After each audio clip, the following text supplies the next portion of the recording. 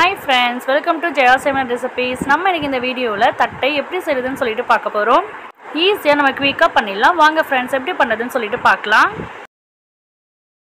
First ஒரு கடாய் எடுத்துக்கலாம். கடாய் நல்லா சூடானதும் ரெண்டு கப் அளவுக்கு பச்சரிசி மாவை நம்ம போட்டுக்கலாம். இப்போ இதை நம்ம லோ ஃப்ளேமில் வச்சு லைட்டாக ஹீட் பண்ணிக்கலாம். இப்போ நம்ம ஹீட் பண்ணி வச்சுருக்க பச்சரிசி மாவை வந்து நம்ம இந்த பவுலில் போட்டுக்கலாம். இப்போ இதில் ரெண்டு டேபிள் ஸ்பூன் அளவுக்கு பொட்டுக்கடலை மாவை ஆட் பண்ணிக்கலாம்.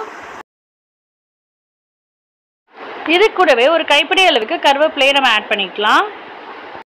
இப்போ இதில் பூண்டை மட்டும் நம்ம அரைச்சி ஆட் பண்ணிக்கலாம். பூண்டு விழுதை வந்து ஒரு டேபிள் ஸ்பூன் ஆட் பண்ணிக்கலாம்.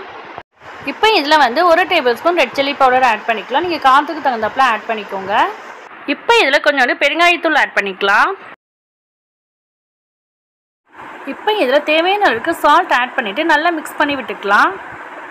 இதை நல்லா மிக்ஸ் பண்ணிவிட்டு இதில் வந்து ஒரு ரெண்டு டேபிள் ஸ்பூன் அளவுக்கு கடலைப்பருப்பை நான் ஊற வச்சு எடுத்து வச்சுருக்கேன். அதை வந்து இப்போ இதில் நம்ம ஆட் பண்ணிக்கலாம்.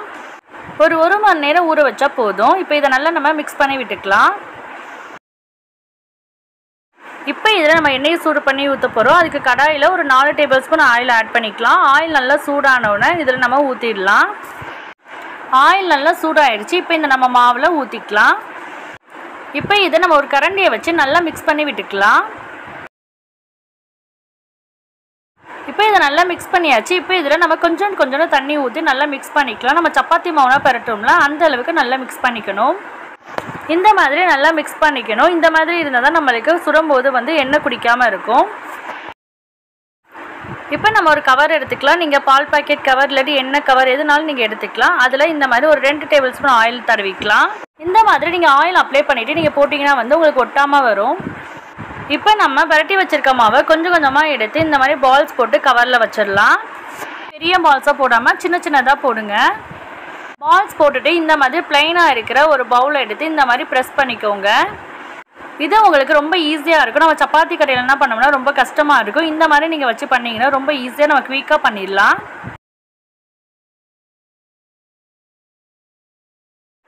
இதே மாதிரி எல்லாத்தையும் நம்ம பண்ணி வச்சிடலாம். இப்போ நம்ம கடாயில் தேவையான அளவுக்கு ஆயில் ஆட் பண்ணிக்கலாம். ஆயில் நல்லா சூடாயிடுச்சு. இப்போ நம்ம ரெடி பண்ணி வச்சுருக்கிறத போட்டுடலாம். இப்போ இது போடும்போது நீங்கள் ஹை ஃப்ளேமில் வச்சே போகிறீங்க அப்போ தான் வந்து உங்களுக்கு நல்ல மொறு மொறுன்னு சூப்பராக வரும்.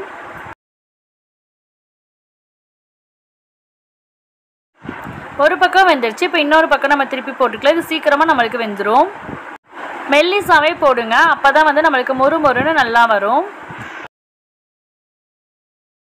ரெண்டு சைடும் நல்லா வெந்துருச்சு. இப்போ நம்ம இதை எடுத்துடலாம். இதே மாதிரி எல்லாத்தையும் நம்ம பொரிச்சு வச்சிடலாம்.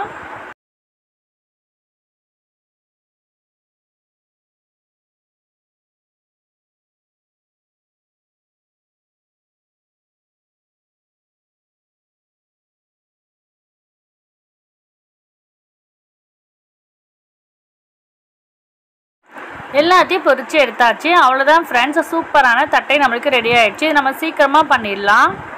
கண்டிப்பாக உங்கள் வீட்டை ட்ரை பண்ணி பாருங்கள் எப்படி இருந்துச்சுன்னு சொல்லிட்டு எனக்கு கமெண்ட் பண்ணுங்கள் நம்ம வீடியோ பிடிச்சிருந்துச்சுன்னா மறக்காமல் லைக் பண்ணிடுங்க கமெண்ட் பண்ணிடுங்க அப்படி உங்கள் ஃப்ரெண்ட்ஸுக்குன்னா ஷேர் பண்ணிடுங்க thank you friends thanks for வாட்சிங்